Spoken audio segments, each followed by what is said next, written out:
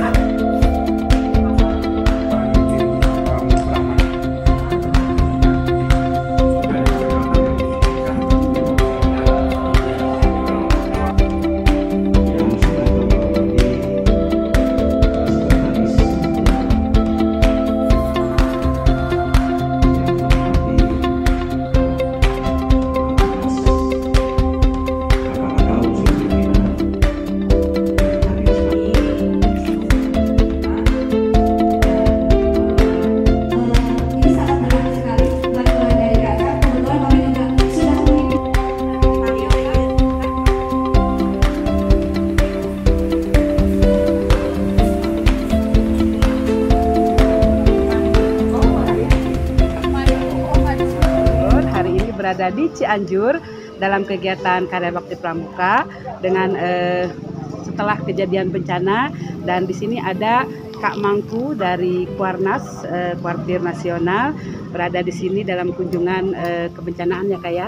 Dan eh, Kakak boleh kita bertanya ya Kak? Eh, apa eh, maksud dan tujuan Kakak eh, dalam eh, mendatangi Cianjur ini? Dan juga eh, keinginan Kakak apa sih eh, apa namanya untuk ke depannya dengan pasca bencana ini Kak? Oke, baik. Siap Kak. Ya, pada hari ini tanggal 14 kita berkunjung ke Cianjur. Mhm. Memang eh, kita baru berkunjung hari Siap, ini. iya.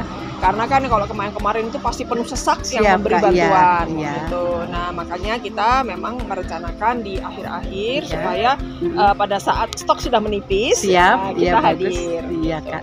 Nah, tapi yang paling penting adalah bagaimana eh, kita selalu support Siap. eh, dalam hal kebencanaan karena memang ya kita harus bergandengan tangan, Siap, saling iya. membantu, saling support gitu. Mhm. Nah, ini eh, salah satu eh, wujud kita eh, support dari Kuarnas untuk Cianjur. Iya. Nah, tentunya selain doa yang sudah kita eh, lakukan sejak dari awal, Siap. Kemudian yang kedua juga kita mengirimkan eh, anggota kita dari Abdimas, siap, dari eh, apa Pramuka Peduli, Pramuka peduli.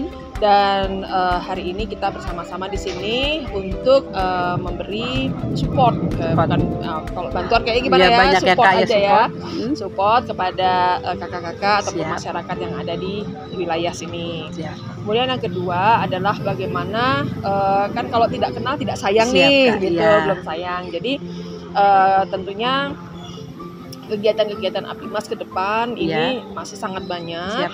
Kemudian juga sekarang juga musim hujan yang sangat luar biasa. Tentunya bencana yang ada di Indonesia ini Iya. ya tentunya terus menerus. Tapi Baik, Kak. bagaimana kita baik di Abdimas, Pramuka Peduli dan sebagainya Iya. eh, untuk pelatihan-pelatihan, Siap. pendampingan, eh, tim apa yang mendampingi adik-adik untuk trauma yang- healing dan iya, sebagainya itu memang terus kita butuhkan Siap, Kak.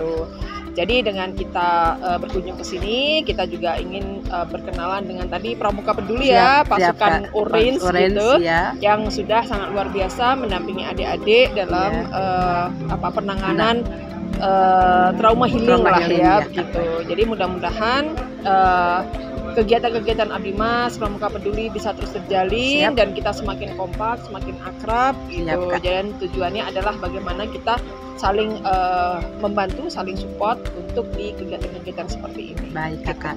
Terima kasih banyak kakak. Wassalamualaikum warahmatullahi wabarakatuh. Salam pramuka.